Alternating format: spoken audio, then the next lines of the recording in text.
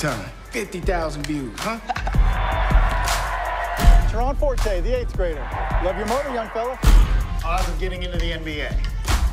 Talent and hard work aren't enough. You also need someone in your corner who knows the system and how to play it for you. Coach Gaines, Liberty Prep. We're offering your son a full ride scholarship, and that's how much we believe in his potential. Promise me you're gonna work just as hard off the court as you will on it. I promise. What's up? My name's T.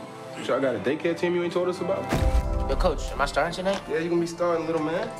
A minute after never. Uh, my type of fly doesn't require wings. You don't need to go to class all the time. You have practices, workouts, games. I want you to bury your nose in this playbook. Good. Come on, Forte, you're in. Show us what you got. I'm not saying that you don't grind, but I grind harder. See that pass? He's only 14 years old. You are now an official prospect in the eyes of the NCAA. I alone handle the recruiting process. That's what I'm talking about. Saying that you don't go, but I go harder. These coaches, these agents, they are gonna use you. So we have got to figure out how to use them to get out. How do you think you're doing meeting with him? Do you realize how involved you are? How much did you hear? I heard everything. We don't play for coach. We don't play for college. We don't play for the NBA. We play for the brand. The whole thing's rigged against the people it should be helping the most.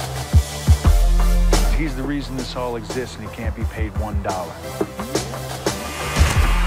You just gotta keep putting in work, all right? What if you don't make it? Stay away from my player, Rob. If your son is the player I believe he is, he's going to be making millions of dollars while he's still a teenager.